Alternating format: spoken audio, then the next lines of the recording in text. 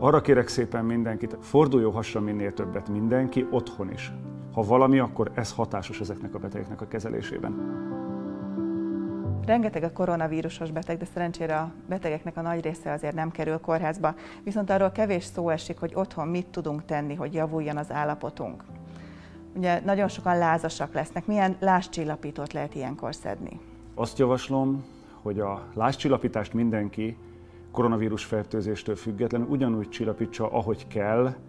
A főbb javaslat, vagy főbb irányvonal 38 alatt nem kell csillapítani lázat. Még mind a mai napig a legősibb és a legjobb védekező eszközünk a láz az ilyen fertőzések ellen. 38 fölött, főleg ha akkor csillapítani kell a lázat. Erre főleg idősebbekben és főleg gyerekekben kell nagyon figyelni kicsikben. Őnáluk szövődményt okozhat önmagában a láz is, vagy komoly velejárói lehetnek. A paracetamol tartalmú gyógyszereket ugyanúgy lehet már használni, a nálunk talán egyik legrégebbi, legősibb, és nálunk még használható gyógyszerek, a metamizol tartalmú, például az algopirin gyógyszerek, ugyanúgy használhatóak, ha nincs egyébként bármilyen kontraindikációja. Az ibuprofen tartalmú gyógyszereket is lehet használni. Bármelyik is szóba került, mint nem kívánatos gyógyszer a COVID kezelésben, szerencsére ezek közül egyikről sem bizonyosodott be, hogy tartósan vagy akutan kárt okozna a használatuk. Mi a helyzet a köhögés csillapítókkal?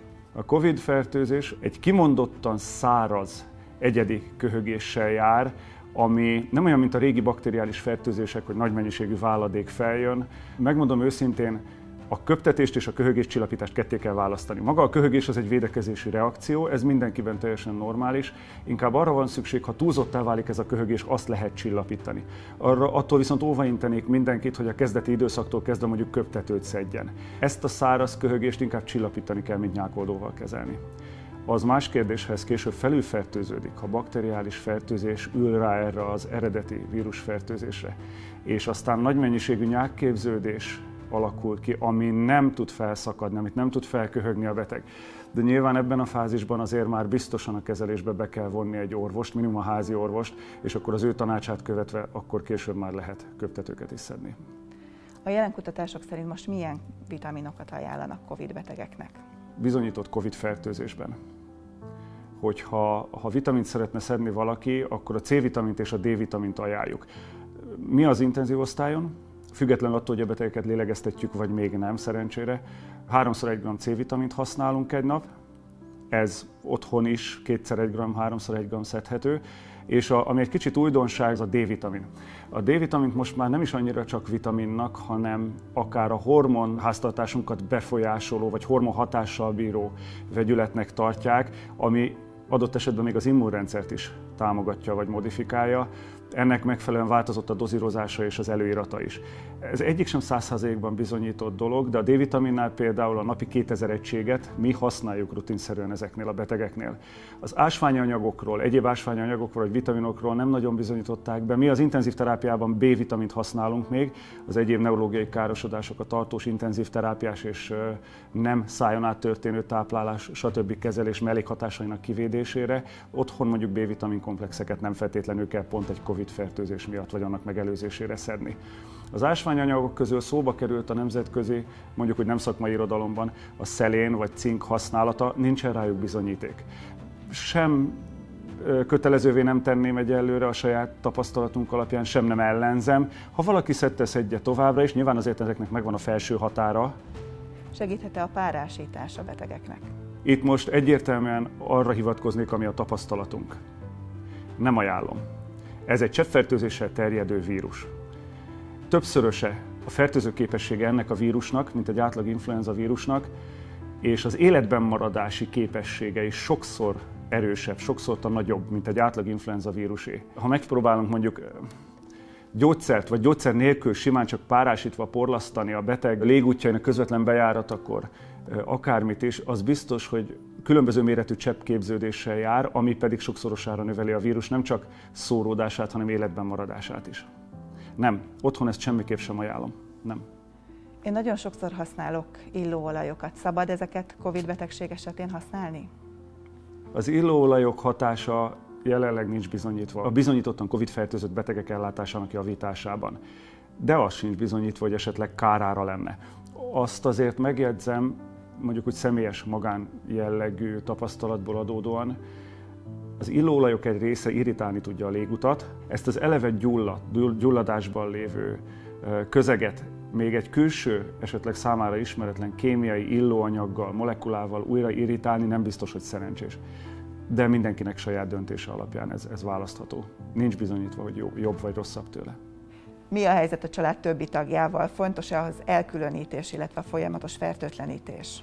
A bizonyított fertőzéseknél vannak olyan egyszerű, végtelenül egyszerű módszerek, amivel csökkenthetjük a kontamináció vagy a fertőzés átvitelének lehetőségét családtagokra. Az egyik Kevés helyen van rá lehetőség, de érdemes lenne elkülönülve egy kicsit élni a fertőzött családtagnak, ha ezt megteheti a többiektől. Háromféle életterünk van, ami mind a háromra vonatkozó az alvás, a nappal ébrelét és a tisztálkodás életterei. Mindegyik máshogy befolyásolja az átfertőződés lehetőségét. Éjszaka legritkábban használnak emberek otthon maszkot. Tehát leginkább az alvó teret kellene elkülöníteni a normál hétköznapi élettértől, illetve a tisztálkodás és az ahhoz kapcsolódó helyiségek használatát.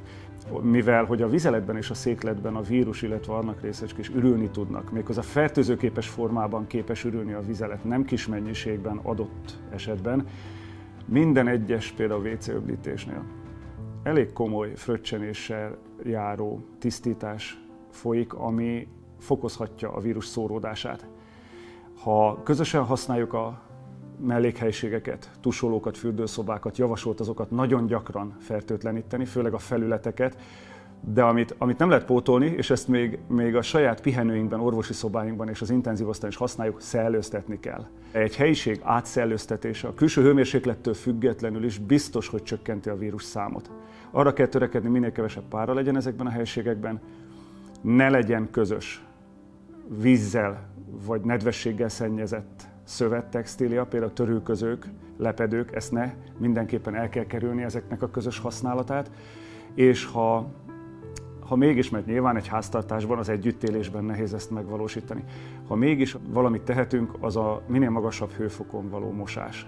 60 fok fölött erős a gyanú rá, de 90 fok fölött pedig bizonyítottan ezekre a vírusokra elég gyilkos hatással van egy kiadós mosás. A vasalásnak pedig nincs párja. Tehát azért 150-250 fokos vasaló az megteszi a magáit. Hallottam, hogy volt, akinek vérhigítót ajánlottak Covid fertőzésre. Ez nagyon szakmába vág sajnos és nem pozitív értelemben. Ennek a fertőzésnek az egyik legsúlyosabb következménye, ha már légzési elégtelenséget okozott, sajnos az egyik legsúlyosabb velejárója, hogy hajlamossá teszi a tüdő kis és középereit arra, hogy rögökkel elzáródjanak. A vérhigítók használata nagyon komoly odafigyelést igényel. A vérhigítókat lehet megelőző dózisban és lehet terápiás, kezelő dózisban használni. Mi meghoztuk már azt a döntést, ez nem szakmai titok, hogy minden intenzív osztályra kerülő, légzési elégtelen, COVID pozitívra tesztelt betegnek mivel ők abszolút súlyos állapotúnak minősíthetőek. Náluk mi használjuk már a véralvadásgátlókat méghozzá terápiás dózisban. Otthon viszont semmi bizonyíték arra, hogy ezt elkezdjék használni az emberek, mert azt tudni kell, hogy egyetlen egy, akár csak megelőző dózis is ebből a gyógyszerből a következő 4-8 órára nagyon komoly vérzésveszélyt okozhat betegekben. Mindenkinek azt üzenem, hogy véralvadásgátló injekciót vagy gyógyszert csak és kizárólag kifejezetten házi orvosa utasítására és engedélyére használjon, mert ennek viszont komoly életveszélyes szövődményei lehetnek, ha nem megfelelő dózisban használják az emberek. Nem bizonyított egyelőre, hogy az otthoni használata kivédené a később a betegség súlyosbodásakor kialakuló tüdőszövetben lévő érelzáródásos rögösödéseket. Azt majd mi kezeljük, ha eljön az ideje, de megelőzésre nagyon óvatosan szabad csak használni bármit is. Milyen jelekre kell figyelni, mikor hívjunk mentőt? Most az egyszer megfordítom a kérdést, mikor ne hívjunk azonnal mentőt, ha megengedi. Először a házi orvos. Tehát van egy sorrend. Amikor mindenképpen fel kell hívni a házi orvost, az maga a betegség kezdete, ez nem kérdés. Ha a házi orvossal fenntartanak egyfajta kultúrát, normális kommunikációt rendszeresen, ő tudja a tünetek súlyosbodását, vagy a gyógyszeres kezelés módosítását akár vénélküli gyógyszerek esetén még telefonon is kezdeményezni, és ha azok az extrém helyzetek előállnak, amikor már neurológiai tüneteket észlelünk, nagyon alacsony vérnyomást észlelünk mondjuk ez mellett, ha valakinek hirtelen zavartsága alakul ki, ha olyan fáradékonysága alakul ki, ami már a normál, egyszerű életvitelt is gátolja, vagy olyan csillapíthatatlan láza van, amit otthoni egyszerű gyógyszerekkel nem tud, vagy olyan köhögése alakul ki. Ez mondjuk úgy, hogy a kezdeti tüneteknek mind-mind-mind az olyan szintű súlyosbodása, ami nagy valószínűséggel már tényleg kórházi kezelést tesz szükségessé, akkor érdemes felhívni a mentőszolgálatot, vagy ha tudják, akkor kell bevinni a sürgősségre a beteget. Mert ha együtt él a családdal, adott esetben nem feltétlenül mentővel, beviheti a család is, valamennyire tisztázni kell a helyzetet, van-e olyan állapotban a beteg, hogy nem mentőkíséretet igényel, hanem a család is beviheti. Ezt tudom tanácsolni. Kik a legjobban veszélyeztetettek? Amit látunk, két dolog van, ami biztosan rontja a betegek esélyeit, és biztosan több van ezek között a betegek között az, aki a legsúlyosabb állapotba kerül és gépi lélegeztetést kell kezdeni náluk, azok a magasabb testsúlyjal rendelkező betegek és a 65 év feletti betegek. A kettő kombinációja az pedig eleve egy, egy nagyon komoly. A túlsúly nem kapott elég hangsúlyt szerintem eddig. Mondjuk, szerepel a híradásokban, de nem kapott elég hangsúlyt. Nálunk az életkor elé került már az intenzív terápiában a túlsúly, mint veszélyeztető faktor. Lehet beszélni a magas vérnyomás betegségről, lehet beszélni a cukorbetegségről, ezekkel tele vannak a híradások, ezt mindenki tudja. A legfontosabb talán a túlsúly és az, a, az időskor. Ha valakinek immungyengített állapota van, akár rosszindulatú tumorkezelés következményeként, akár szervtransplantáció résztvevőjeként, mind-mind sokkal jobban oda kell figyelniük. Ez nem kérdés az egyszerű emberi logika. Akinek nincs immunrendszere, vagy sérült az immunrendszere, az veszélyeztetett, de nem csak koronavírus fertőzése, mindenféle bakteriális és vírusos gombás fertőzése sajnos. Kell-e ágynyugalom? Egyáltalán hogyan feküdjön a beteg? Ha tünete van, annyit feküdjön, amennyi jól esik. Azt most garantálom mindenkinek, ha tényleg tünetes Covid fertőzött valaki, szinte életkortól függetlenül biztos, hogy többet fog aludni. Teljesen egészséges, érett, egyébként a betegségen átesett, jó fizikumú, jó lelki és testi állapotban lelegyző kollégáim is arról panaszkodtak, hogy még a betegség lefolyása után is hetekkel is csökkent a terhelhetőségük. Nagyon komoly fáradékonyságról panaszkodik mindenki, aki átesett a betegségen. Fognak ők aludni eleget. A válaszom a kérdésre az, hogy annyit aludjanak, amennyi jól esik, de itt nem az alvás mennyisége lesz a fontos, hanem a minősége és a, mondjuk a technikája. Arra kérek szépen mindenkit, ez az elmúlt hónapok legnagyobb tapasztalata nálunk lélegeztetett és nem lélegeztetett, de magas oxigénigényű betegeknél ugyanúgy. Forduljon hasra minél többet mindenki, otthon is. Ha a családban COVID-pozitív tünetekkel rendelkező, köhögő, ne Isten, lázas köhögő, nehéz légzésre panaszkodó beteg van. Mindenképpen, ha még nem kell kórházba kerülnie, otthonápolást választják, és ez megoldható, fektessék minél többször hasra.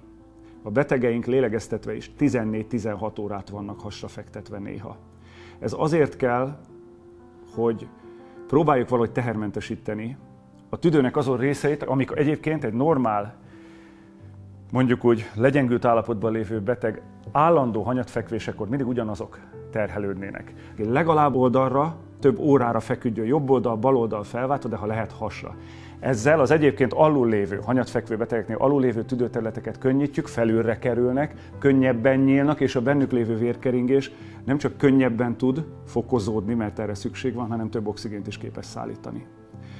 Talán a legnagyobb vívmánya ennek a pandémiának az intenzív terápiában, hogy összemérhetetlenül megnőtt a hasrafordított betegek száma, és azt látjuk, hogy ez hatásos. Ha valami, akkor ez hatásos ezeknek a betegeknek a kezelésében. Abban reménykedünk, hogy ha az otthon ápolt betegek is elkezdik ezt, talán nem jutnak el olyan súlyosságba a betegségbe, hogy ebből tüdőgyulladás, ne Isten kórházi kezelés legyen. Milyen szövődmények lehetnek? Sajnos azt látjuk, hogy ha elér egy adott pontot a, a, a gyulladás a légutakban, akkor az egy, egy nagyon komoly, mi úgy hívjuk, hogy atípusos, ez vírusokra egyébként jellemző, minden tüdőlebenyre kiterjedő gyulladást okoz. Ez a vírusfertőzés nem tiszteli a lebeny határokat a tüdőben. Ez a vírusfertőzés úgy támadja meg a tüdőt ráadásul, hogy mire a betegek észreveszik, hogy oxigénhiányuk van, már olyan oxigén szinteket jeleznek a laborvizsgálataik, ami normál békeidőben mindenkit megijesztene már. Az az új irányvonal, hogy most azt számít, hogy a betegeknek milyen a, a saját szubjektív élménye. Nem az számít, mi van a laborokban, nem az számít, hogy mi van a vizsgálati eredményekben, a beteg mit érez abból. Elég neki az oxigén, vagy nem. Nem ment ez mindig így az intenzív terápiában, és éppen ezért otthon is erre kell figyelni, ezt javaslom mindenkinek. A beteget figyeljük, a hozzátartozónkat figyeljük. Ha eddig egy perc alatt fölment három emeletet, most pedig öt perc alatt és négyszer megáll, akkor baj van. Ha fekve fullad, akkor baj van. Ha a pulzusa eddig 90 volt vagy 80, most pedig 130 egész nap, akkor baj van. Ha megemelkedik hirtelen a légzés száma valakinek, akár érzi egyébként, akár nem. Ezért alattomos ez a vírusfertőzés. Van, hogy úgy kezdenek el a betegek fulladni, hogy még nem veszik észre, hogy fulladnak. És ezért kerülnek be néha később a, a klinikákra. De a legsúlyosabb szövődmény ki kell mondjuk, az a tüdőgyulladás és a vele járó nagyon-nagyon komoly halálozási arány. Soha nem láttunk ilyen mértékű halálozást tüdőgyulladásoktól. Azért harcolunk az intenzív osztályon, és azért mentem bele most ebbe a riportba is, hogyha tudunk tenni valamit, akkor, és azt megteszik otthon még, vagy a kórházban, de nem intenzív osztályon lévő betegek, akkor ezzel megelőzhetik, hogy intenzív osztályra kerüljenek. Az az igazi értelme, ha a betegek az intenzív osztályra be sem kerülnének. És adja meg magának a türelmet, az időt mindenki, hogy gyógyuljon, mert hetekbe fog kerülni, nem kell hozzá tüdőgyulladás. Tüdőgyulladás nélkül is hetekbe fog kerülni, mire mindenki ugyanúgy tudja majd magát terhelni, mint előtte. Ez normális. A cél az, hogy mindenki túlélje, a cél az, hogy mindenki, ha hazament, vagy otthon volt és túl van rajta, szép, nyugodtan, fokozatosan, de újra teljes értékű életet élhessen.